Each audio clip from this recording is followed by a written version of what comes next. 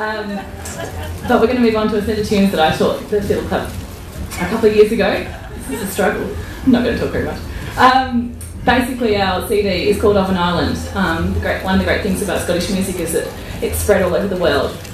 And if, if it's gone to island communities, it's um, developed its own style. So two of the set of three tunes, and the last second and third tune are from the Orkney Isles by a fantastic duo called the Wrigley Sisters.